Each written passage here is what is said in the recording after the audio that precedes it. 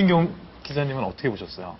글쎄 명품이 아니어도 어 그 남들이 어디 거냐라고 물을 만한 그 가방을 들어줘야 음. 한다면 그러면 굉장히 예술적이고 creative한 작품을 들어줘야 된다는 얘기거든요. 음. 그러면 오히려 대량 생산된 명품보다는 비쌀 가능성이 더 높고 어쨌든 이것이 청담동 스타일이라는 게 또 다른 그 축적된 음. 경제력을 가지고 얻을 수 있는 그 취향이라는 말이 아닌가 싶어서 조금 어, 부정적으로 보일 수도 있을 것 같아요. 아니 저는 그 차별화됐다는 게 꼭 네. 그렇게 또 김민경 기자님이 생각하시는 것처럼 엄청난 예술 작품이 아니더라도 음. 또 취향이라는 게 굉장히 그 세련된 취향이 과하지도 않고 또 너무 모자라지도 않게 자기를 어느 정도 스타일링할 수 있는 그런 세련된 감각이기 때문에 음. 오히려 좀 많이 open돼 있는 것 같아요. 그래서 제가 볼 때 좀 새로 신진 디자이너들이 더 많이 신진 디자이너들의 브랜드가 많이 팔리고 음. 또 그런 거에 대해서 새로운 거를 취하는데 어, 조금 더 open mind가 되어 있는 게 또 청담동이거든요.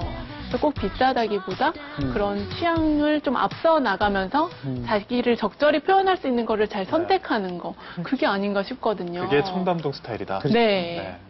그러니까 그 이렇게 굉장히 좋은 지적들을 해주셨는데 그런 생각들을 해봐요. 그러니까 우리가 결국 우아하게 살고 싶어 하잖아요. 네. 네. 엘레강스한 삶 정말 엘레강스. 좋아한단 말이에요. 제가 좋아하는 단어. 근데 사실은 그 청담동 앨리스의 가장 핵심은 바로 그 엘레강스를 우리식으로 찾아보자라는 일종의 시도였을 거예요. 네. 그러니까 그 그런 관점에서 보면은 우리에게 우아함. 저는 그 엘레강스라는 단어를 가지고 참 굉장히 강의를 많이 하러 다니는데 오늘 이 자리를 빌어서 그 약간의 교훈을 드리자면 네. 엘레강스라는 뜻이 그 어원이 뭐냐면 우함이라는 뜻하고 좀 틀려요. 아, 그래요? 네, 실제 어원이 뭐냐면 여기서 이미 다 얘기하셨어요.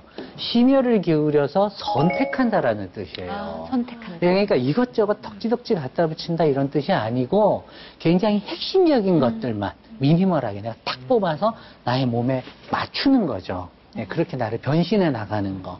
네, 그런 관점에서 보면은 이제 이 청담동 앨리스가 바로 이런 어떤 새로운 우함에 대한 태도, 입장, 생각 이런 걸 좀 퍼뜨려 주지 않았나. 근데 어. 또 사람들은 흔히 패션이라고 하면 옷을 떠올리고 쓸데없는 쇼핑과 많이 연관을 짓는데 네.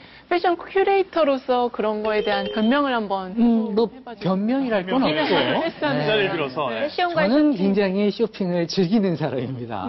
아, 물론 명품만 사지 않습니다. 근데 저는 그랬어요. 그러니까 제가 쇼핑을 되게 즐기는 사람인데 그 쇼핑이라는 거를 남의 말을 듣고 사본 적은 별로 없어요. 이 브랜드가 뜨니까 입어라라든가 중요한 건 접니다. 그렇죠. 나에게 어울리면 사고 안 어울리면 안 사는 거거든요. 이게 가장 중요한 거 같아요. 예, 그래서 네. 그걸 찾기 위해서 발품을 파는 거 되게 좋아하고. 그러나 가장 중요한 거는 생각해 보세요. 한 벌의 옷이 마치 우리가 영문법 공부할 때, 예? 네. 막 이런 거 공부하잖아요.